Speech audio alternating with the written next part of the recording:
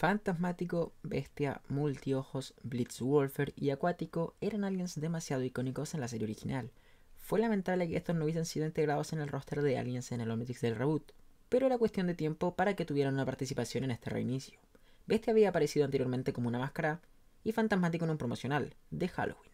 Multiojos en una cápsula de N, lo que daría indicio de que estos aparecieran tarde o temprano. Es hasta la película Ben 10 contra el universo que finalmente hacen su aparición oficial, como prisioneros del vacío nulo, donde es Ben enviado a pagar por sus crímenes.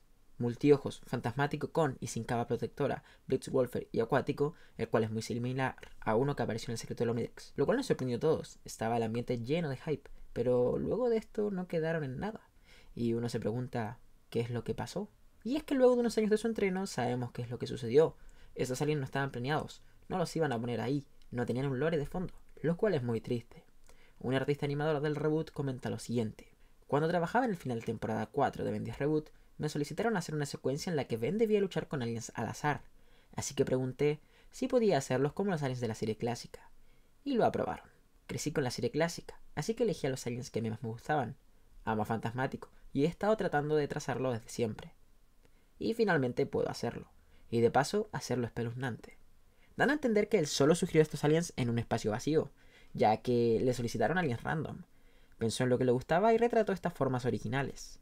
Podría justificarse diciendo que los aprobaron ya que tarde o temprano los usarían, ya que como dije al inicio de este video, habían indicios de su existencia. De todas maneras, Duncan, creador de Ben 10, finalmente confirmó su existencia y que eran canon, para posteriormente Acuático aparecer nuevamente en el final del reboot, Alien Extinction. ¿Y ustedes qué opinan? Yo siento que fue un buen guiño fanservice y que la verdad debieron haberlo aprovechado aún más.